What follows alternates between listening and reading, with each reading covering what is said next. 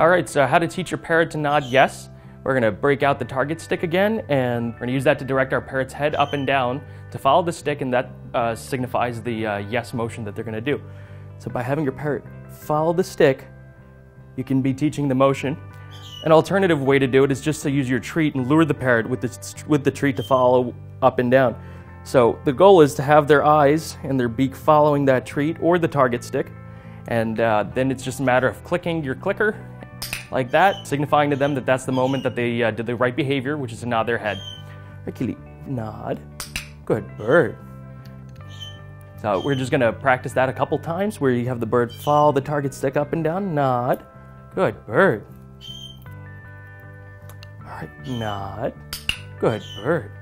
So the bird is gonna become more and more used to uh, and familiar of following the stick every time you did that.